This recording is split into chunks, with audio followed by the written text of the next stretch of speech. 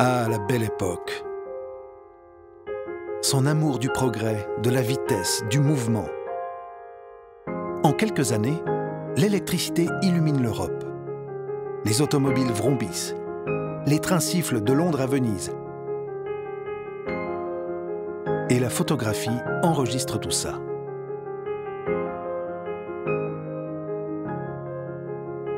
Dans ce monde nouveau un peu dingo, le médecin Étienne Jules Marais est obsédé par une idée. Voir au ralenti tout ce qui va trop vite. Comme le vol d'un oiseau ou la course d'un humain. Pour y arriver, il ne sait pas vraiment comment faire.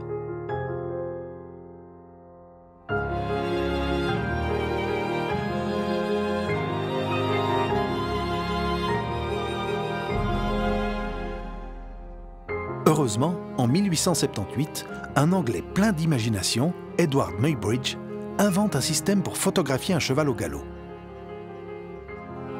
Il installe 24 chambres noires le long d'une piste de course. Ça marche. Il obtient une série de photos décomposant chaque mouvement du cheval.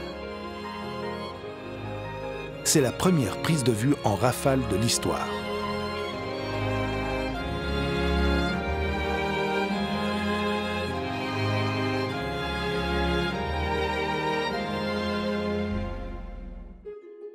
Muybridge rencontre Marais en 1881 et pour le français, c'est une révélation. La photographie devient son grand outil d'étude. Tout s'accélère. L'année suivante, il invente un fusil photographique qu'il pointe sur des canards sauvages. 12 images par seconde, du jamais vu. Mais il en veut toujours plus. Marais se bat avec la technologie. En 1888, Fini les plaques de verre, vive la pellicule souple. Ça y est, il arrive enfin sur la même photo à montrer tout un mouvement du début à la fin. Il a inventé, chapeau monsieur Marais, la chronophotographie sur pellicule mobile.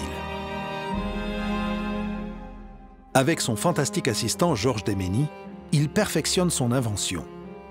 Tous les sports y passent. Vive la vie en microsecondes. En 1900, Marais est choisi pour étudier les athlètes aux Jeux olympiques de Paris. Pourquoi certains courent plus vite, d'autres sautent plus haut? D'expérience, il sait que le corps n'est pas tout. Un sauteur de haie américain gagne tous les prix. Ni une ni deux, il le chronophotographie. En projetant les négatifs sur une page blanche, puis en dessinant l'un après l'autre chaque geste façon arrêt sur image, il reconstitue tout le saut. En une épure, la tactique du champion est dévoilée. Cette méthode d'étude fera date et elle sert encore.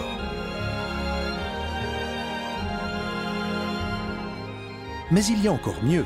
Malgré son esprit génial, Marais n'a pas vu que l'œuvre de sa vie, la chronophotographie, ouvrait la porte à une invention encore plus folle.